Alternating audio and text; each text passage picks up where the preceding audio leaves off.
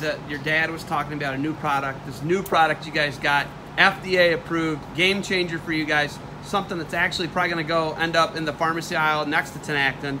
Big deal, game changer for you guys. Yeah. The antifungal bar of soap for defense. Yeah.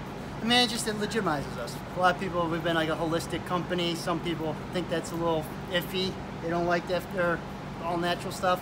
So we came out with our FDA approved bar. This is the real deal. We got a whole box of it. And this stuff, look, I've got, I've been given like six bars of it, right? And the people I give it to are the Burnett brothers, Cliff Fret. Well, it was only for like the, you know, like the heavy hitters. This is one the bar I've ever given out.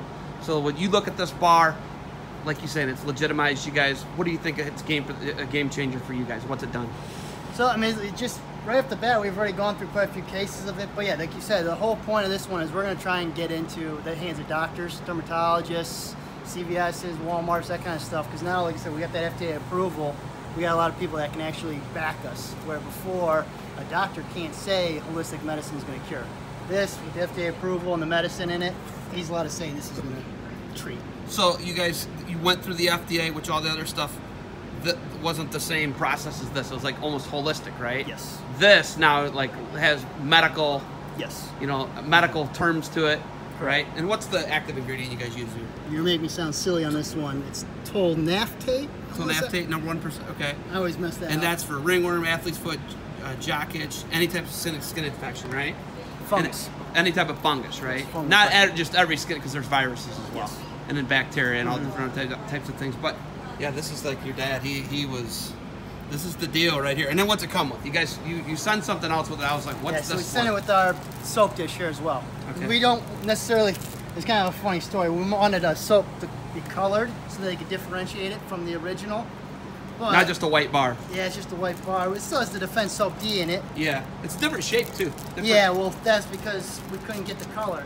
Couldn't do, they wouldn't let you do the, the dye. well, we wanted the color. We sent it to FDA without the color, and then we realized, like, oh, wait, this isn't a blue bar.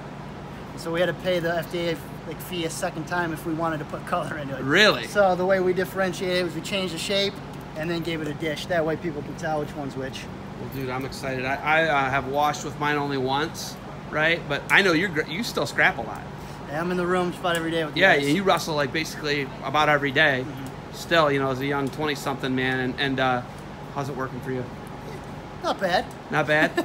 it's, it's hard to ask the person who his dad owns the company if it works for him or not, right? Because Yeah. it's going to work Oh, for oh, you mean the soap? I thought you talking Yeah, about wrestling. the soap. I know you can still yeah. The soap, yeah, I haven't had funk in a while. No funk? Knock on wood. All right. But yeah, no funk. All right, man. I'm Now we excited. can keep the body I'm gonna, I'm gonna just, we're gonna send this box back, box back to Sugar Falls too, all right? Perfect.